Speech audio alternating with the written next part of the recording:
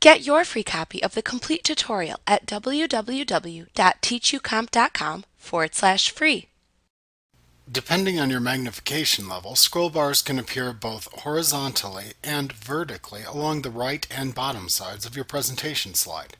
They have arrows at each end which point in the direction in which they will scroll the slide when you click them. Of course, as the name implies, you simply use the scroll bars to scroll through your slide's content. You may click the arrows at the ends of the scroll bars to scroll through the slides, or you may click and drag the box inside of the scroll bars to move across the slide more rapidly.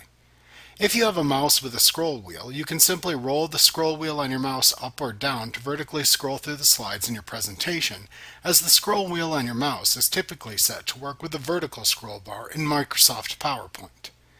Also notice the double pointing up and down arrows at the bottom of the vertical scroll bar.